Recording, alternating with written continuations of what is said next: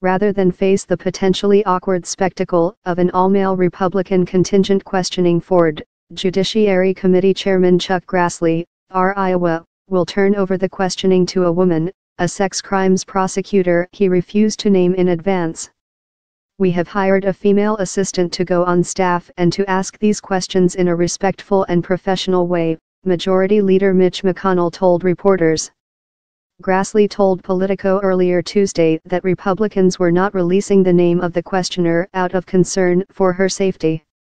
He said it was undecided whether his party would reveal the identity of the prosecutor before the hearing.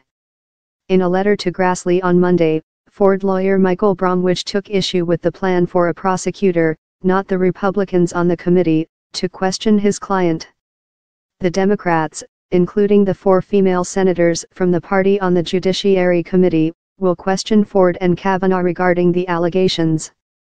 Kavanaugh has denied any sexual improprieties in his past, and in an interview on Fox News on Monday he asserted that he had been a virgin into his 20s.